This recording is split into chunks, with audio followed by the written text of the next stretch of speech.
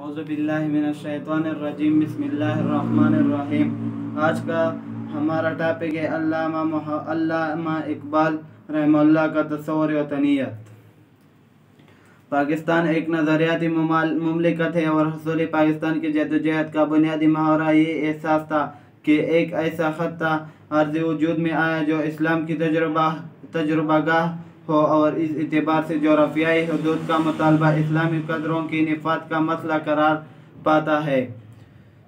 मगरबी तस्वर वतनीत और इस्लाम के तस्वर मिलत के दरिया दरमियान क्या फ़र्क है।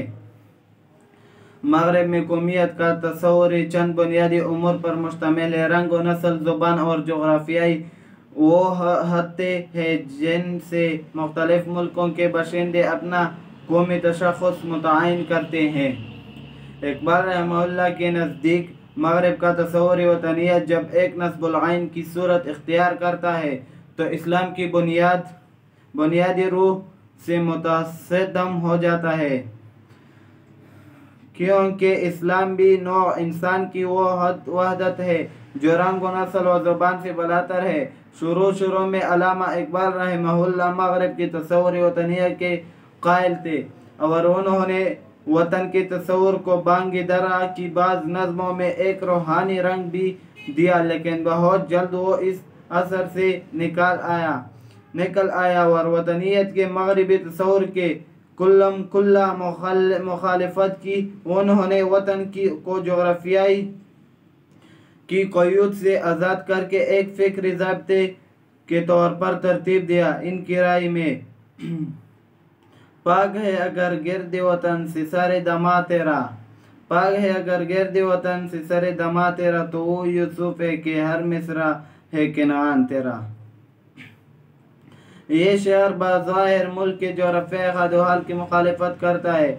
जब हम पाकिस्तान या पाकिस्तानी कौमियत की बात करते हैं तो इस शहर के मानी व मतलब हमें ये सोचने पर मजबूर करते हैं कि आया इकबाल रहमहुल्ला वतन की मोहब्बत को तस्लीम भी करते हैं या नहीं?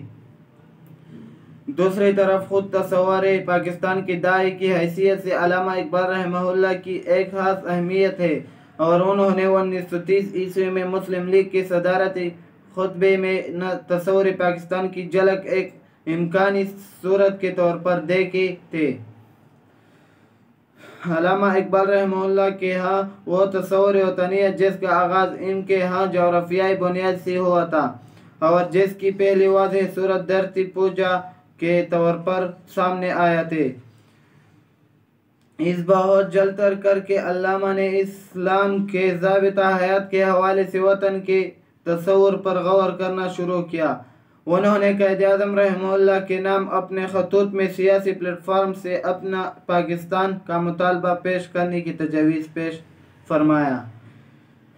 पाकिस्तानी वजूद में आया तो आबादियों की तब्दीलियाँ हुई, मकामी और महाजर के इम्तियाज़ उभरे और तहजीबी सतह पर तगीर व तबदल के कई पहलू ज़ाहिर हुए।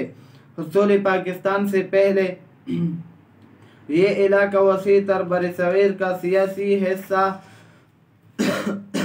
था और यहाँ के बसने वाले मुसलमान, हिंदी मुसलमान कहलाते थे। अब इस बर में दो बड़ी मुल्क है, भारत और पाकिस्तान। दोनों ममालिक में मुसलमान मौजूद है।